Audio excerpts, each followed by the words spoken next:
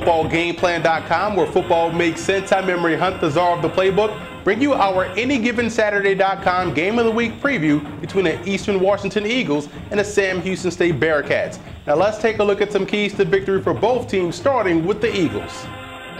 I love the way the Eagles force you to cover the entire field. And when you look at quarterback Vernon Adams, he's an amazing talent. And this week versus Sam Houston State, the biggest matchup will be the passing game versus the Bearkats secondary. They're going to have to get creative in their formations, and that could aid the passing game this week versus Sam Houston. Now, defensively, you have to protect the perimeter versus the Bearkats. They attack you horizontally in both the passing game as in the running game. And in order for that to happen, that defensive line of the Eagles definitely has to play better.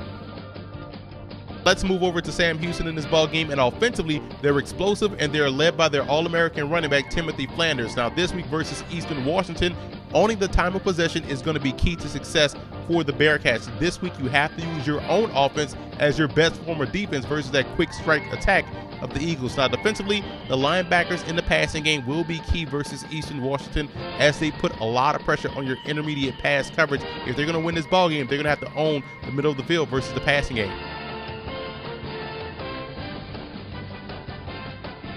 Now here are some coaching points for both teams in this ball game. For Eastern Washington, the defensive backs and run support will be key this week versus Sam Houston. As I said before, they love to attack the perimeter in a running game, and they're going to have to make tackles. Now on offense, you want to utilize the bunch formation to create the opportunities in the passing game. We know the Eagles can throw the football.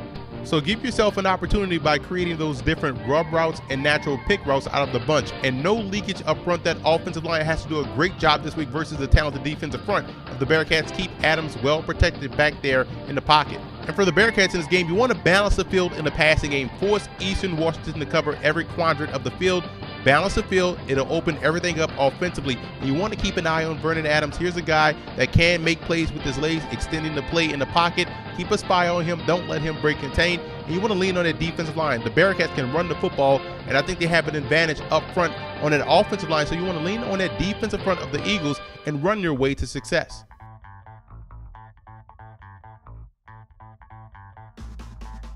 The X factor for the Eagles will be their front seven on the defensive side of the football. They're going to have to stop the run and put this all on the shoulders of Brian Bell in that passing game. If they can do that, they can definitely win this game on the road. The X factor for the Bearkats will be the pass defense. They're going to have to win those individual matchups in the passing game versus the Eagles. Otherwise, they can really move the football in chunks with that outstanding passing game.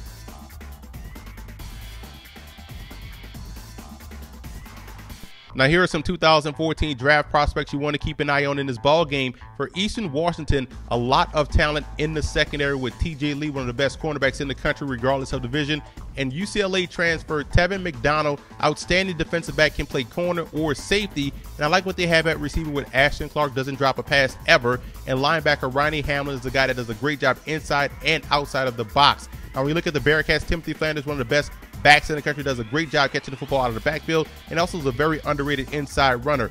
Bookie Snead, outstanding corner out there on the boundary, can also double as a field corner as well. So he has that versatility. And I'm a big fan of Richard Sincere and what he does in the passing game as well as in the running game. More of a wildcat type player. Tanner Brock, outstanding linebacker, sensational player. Look for him to fly up the draft boards postseason. And Gary Lawrence may be injured, but this is a guy that definitely has next level type talent on the interior, six feet, 290 pounds.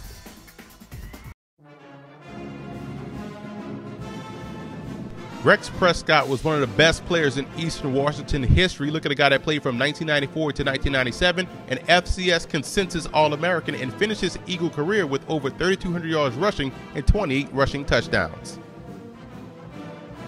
Paul Pierce is one of the best coaches in Bearkat history from 1952 to 1967. He led the Bearkats to four bowl appearances and also captured the co-championship title in the NAIA division in 1964.